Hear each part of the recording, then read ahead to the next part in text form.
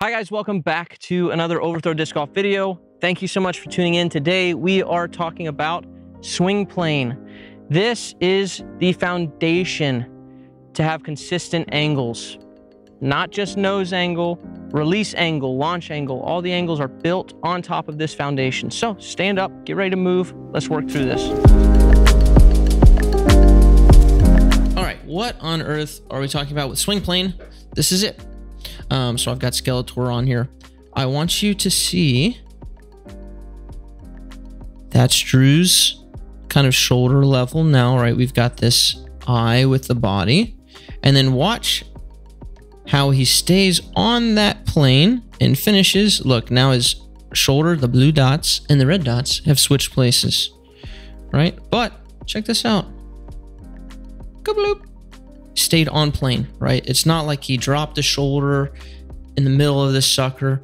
So his right shoulder started down and his left shoulder started up and then boom, little switchy switch, right? So this is kind of the swing plane. The hips do the same number here, right? So we're looking at kind of this unit here, this kind of parallel unit. Now, it's good to note that this is Drew throwing flat. Simon does the same thing on this tilted swing plane, as we would call it, throwing a flat shot. Now, just a side note, at the end of this video, I'm going to show you how to alter the swing plane for angles and all of that. And I'm going to try to maintain this swing plane. Of course, if you're throwing anhyzers or something like that, it's not going to always be on this tilt but the concept remains, right? You're going to finish the way that you started.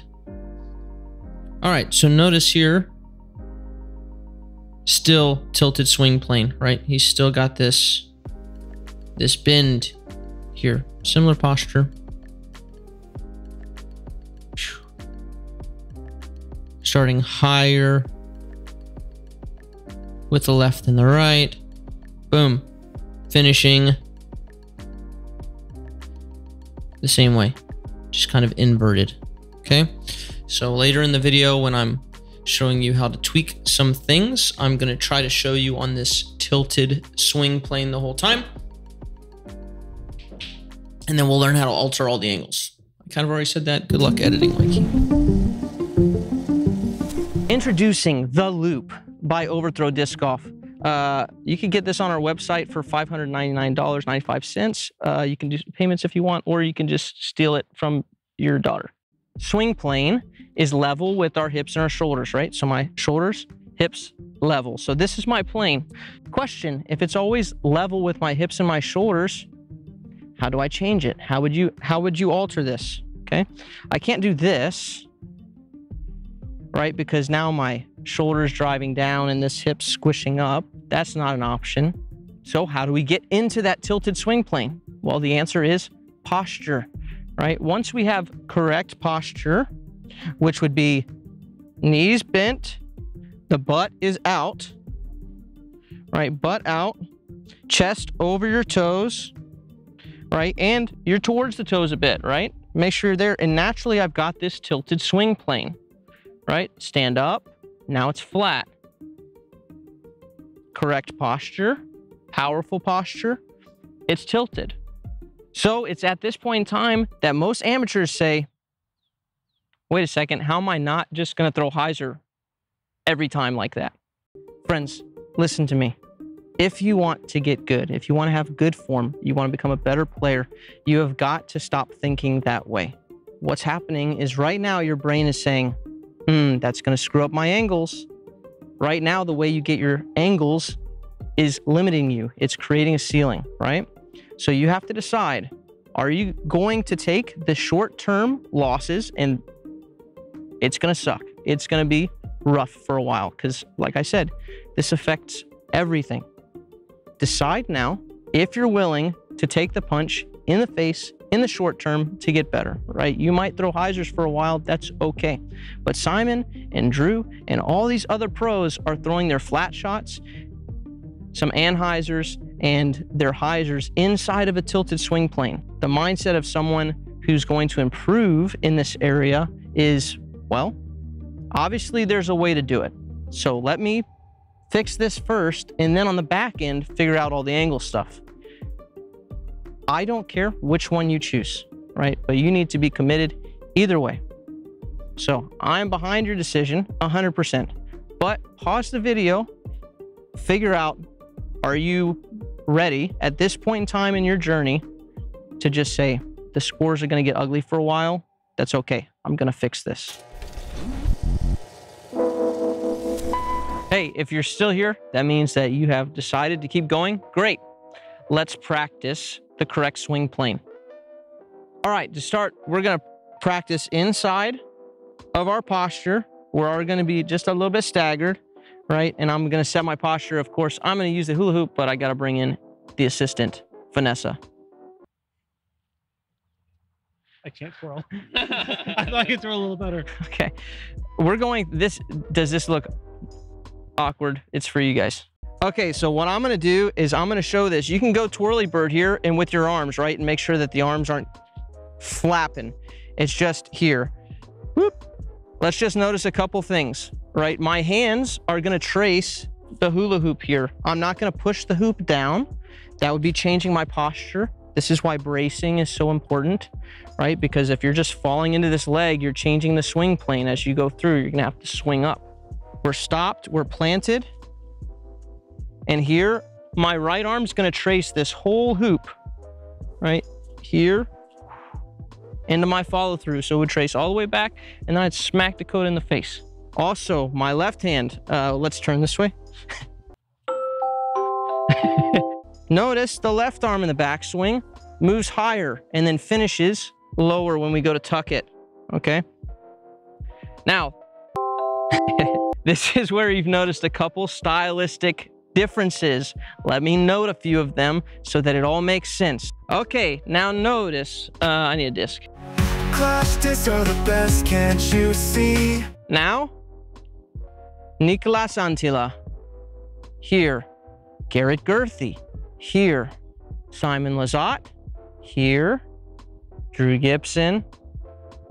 Eric Oakley. So within this plane, the arms, they can be bent. Oh, how about we do Calvin Heimburg and Kristin Tattar, Emerson Keith, right? Notice I'm not breaking the plane with my shoulders. Here's where the issue lies. There, right? Or lifting up above the plane, right? Now I've got my shoulders are not in plane anymore, right? So this is why it's super important. Here, I, you could choose, hey, if you like Kristin, you could be Kristin right here with your right arm. You can extend a little bit and be Ricky. You can extend a bit more and be just about everybody else. So there's a lot of options on this swing plane with how you go back. The important thing is that you'll notice that my shoulders aren't changing. I'm not going back here and lifting up and I'm not flat shouldered here. I'm not coming out of that posture and then trying to find the swing plane again and then breaking it right? So we've got a lot of options on this backswing. Okay, so now I'm just gonna practice with my hands bloop, on this swing plane. Here, here, forward with the hand, I'm gonna actually tuck. Notice how the shoulders are still together. Hands still going through. Feeling this, tracing the hoop the whole time is what I'm doing here.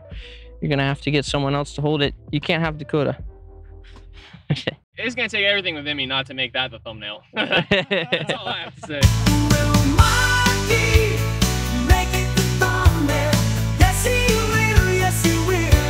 Okay, so now imagine the hula hoop in Dakota. All right, so we're here, still on plane. Send the hand through. Right, at this point, shoulders level with the hoop. Right hand finishing up. Left hand's down. And then eventually what happens to the right hand? It's gonna trace the back of that hula hoop all the way back around. So here, faster. And then eventually following through.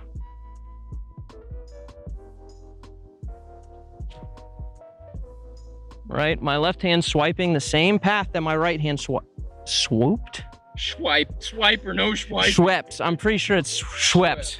Swipe. My left hand's gonna Schweppes the same position that my right did, right? That's staying on plane. And then eventually, inside the follow through, we can stand up. All right, let's throw a few. By the way, Clash just came out with some sweet plastic. We've got it in our shop if you want any. You don't have to. Just trying to maintain that swing plane. My hand's gonna trace here so I can go through. Right hand finishing high. Boop. Reverse it. Yeah, it's beefy.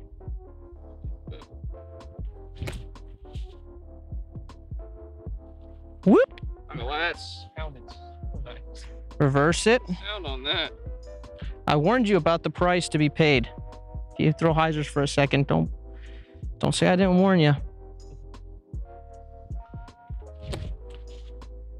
Okay. Yeah, you could always just put one of those in your bag in the meantime. Now, with the walk up, point that we need to mention here is that if our posture is controlling our swing plane, when do we get into that posture? Well, some pros like Albert Tamm or Henna or Niklas start in their posture and they maintain that posture throughout. I should be doing this with the hula hoop. Bloop, and I'm here with the hula hoop. It's worth noting that there are a decent amount of pros out there that get into the posture right away. You might think of like Albert Tamm or Niklas Anttila or Henna, for example. I'll, I'll show you Niklas Anttila here, right? And they start kind of in this form and they stay inside the posture the whole time. Right, from behind.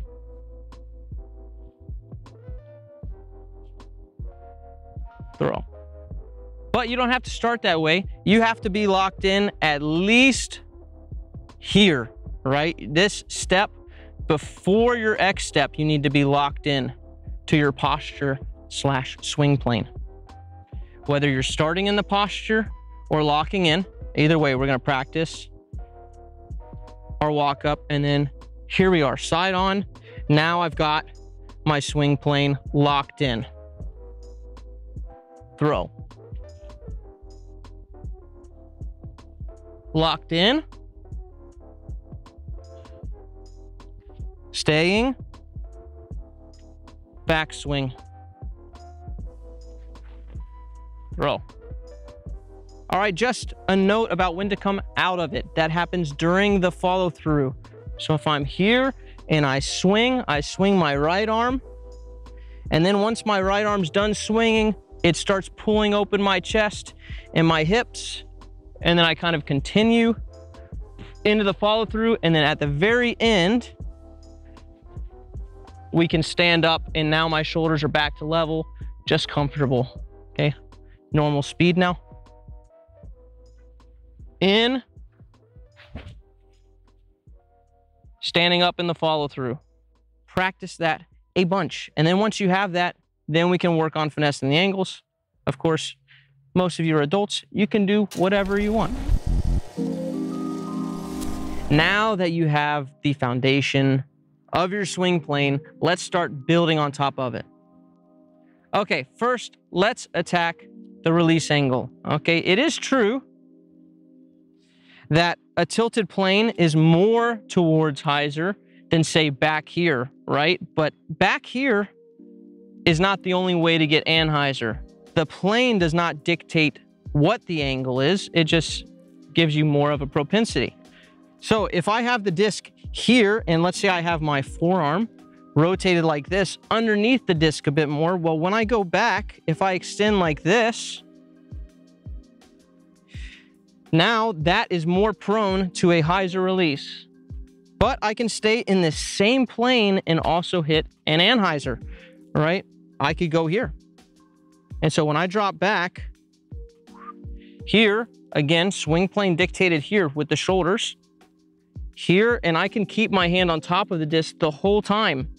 And now I can roll here, right? And that would be an anhyzer little uncomfortable. Not a lot of people go that crazy with it, but you could, right? So if you want to set up with a little bit more anhyzer you can start with your hand on top of the disc, go through, have your hand trace the same line, and that is significantly less hyzer than if I start here with my hand underneath the disc. So we can make a tweak with our arm to adjust the angle if you're in good posture, but it's just knifing hyzer, right? Okay, then we might recommend, well, don't hold it like this. Let's let's tweak it just a little bit, right? And then have maintain that same swing path with your arm. Here we go. Next angle, we're gonna go flat. So that would be here, right? Flat. So if I'm throwing a flat shot, which rarely exists out in the wild, uh, this is also flat nose angle. Nose up would be here. Nose down would be here. So take that same swing plane. I get into good posture here. And now, nose down, nose up. Anhyzer would be nose down. Again, this is why it's not comfortable down here, but nose down, nose up. The thing that we use to adjust nose angle inside of our swing plane is we can roll our hand. Our hand rolling like this does not take us out of swing plane by necessity, right? The only thing that really takes us out in that situation and when people start trying to roll to get their nose down like this, right? So if I'm here, I'm rolling up here, rolling the disc upwards. So now that it's nose down, I roll my palm up, sorry, like that, still good, still in my swing plane. The issue is at that point, if you go like this and you drop your elbow below the plane, now where on earth are you at? It's not gonna work, right? So you have to make sure that when you roll like this, you don't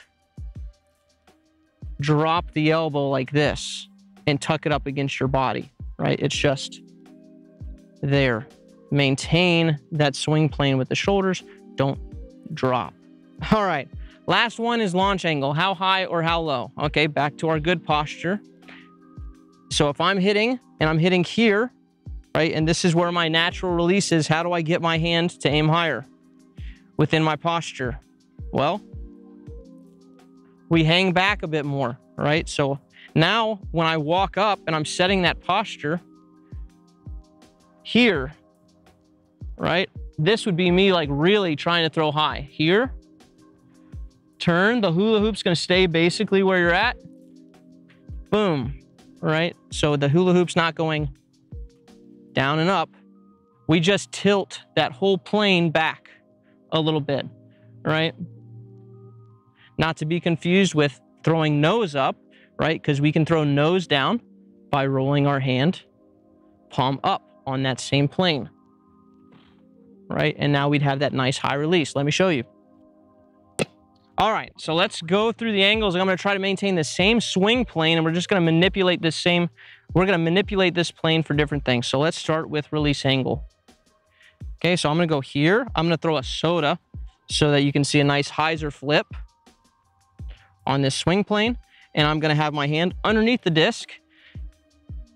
I don't recommend you flip flop it for every angle, right? Set one and then change disc within that right, to be consistent. But this is just for an example of how different people have different natural release angles. So here we go. Big hyzer. Choo! I'm Kevin Jones. I just throw way shorter than he does. Okay, same, same plane, but instead of going here, I'm gonna go here with it. That's a cookie, flat, or baby hyzer. Okay, so same plane. So I'm gonna set my body the same way.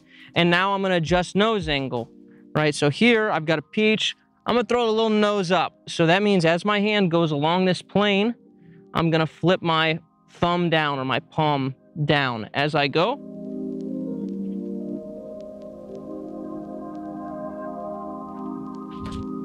Nose up. Did not feel good. I don't like that. Okay, same thing, except now I'm gonna manipulate. Now I want nose down. Same swing plane. Gonna flip the palm upwards.